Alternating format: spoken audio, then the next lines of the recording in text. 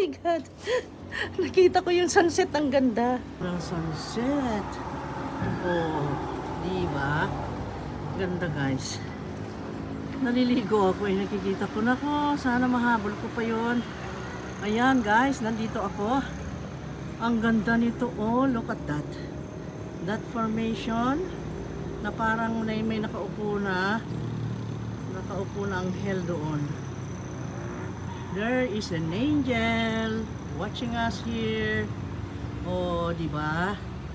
Ang ganda. Kitang-kitang Pamilakan, lapit-lapit oh, Island of Pamilakan. Ayun. This is the last uh, silip to this uh, very beautiful sunset for uh, before 2024. Ayan. Before 2023 ends, this is the sunset we saw just just uh, this moment. Happy New Year! Nanguha ng sunset.